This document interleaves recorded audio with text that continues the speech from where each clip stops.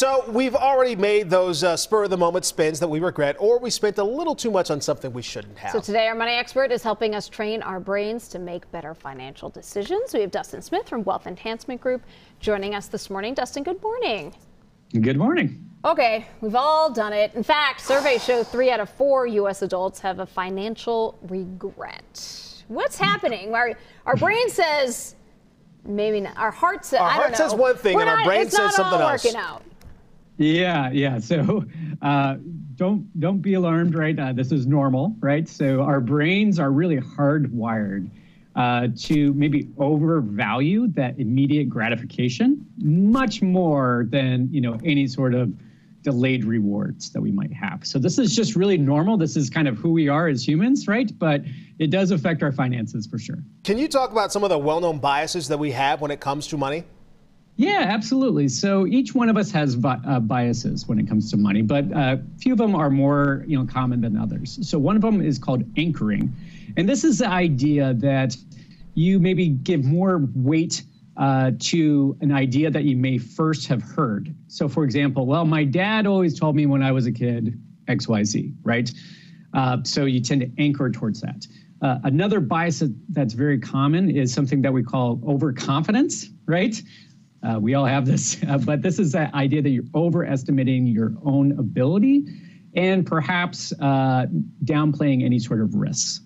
And and the third one that I think is uh, I see a lot is what I call confirmation bias. Right. This is that idea that you tend to seek out information that agrees with you. Right. Okay. Right. So you want to believe the stock market's going to crash tomorrow? There's someone on the internet who will say that Right, exactly. every day. Uh, uh, does keeping up with the Joneses, does that part of this too? Yeah, a little bit, right? I mean, our what we see on social media and what we see with our peers really does affect us, right? And so we tend to believe that all that glitter is gold, right? And that if if the people down the street are buying a new car, you should as well. And so we try to keep up with that. I was going to say, forget social media. I'm just looking down the street. I'm Yeah. looking like, oh, look at Barb and them. So, Dustin, you say we can train our brain a, a bit better. What are some ideas on doing that?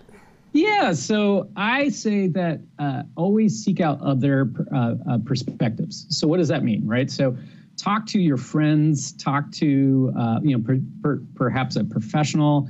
Uh, find other people's opinions because the more you hear those other opinions, it may change uh, how you think about things. So that's that's one of the things. When you say Uh, when you say opinions, do you mean differing opinions? Because you could have someone who just agrees with you, but you want differing opinions, right?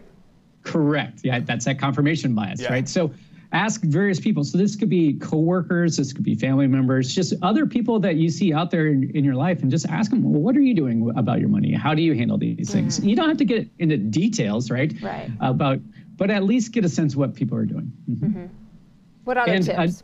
Yeah. So the other one that I always like to say is, you know, you you can make spending a little bit harder.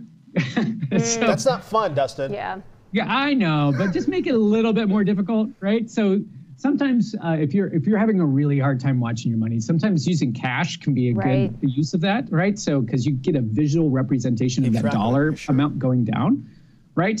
Uh, or force yourself to pay off your credit card every month, right? Because you know that immediate gratification feels wonderful, but all of a sudden, if you start having to pay off your credit card every single month, right, that may change some of your behavior.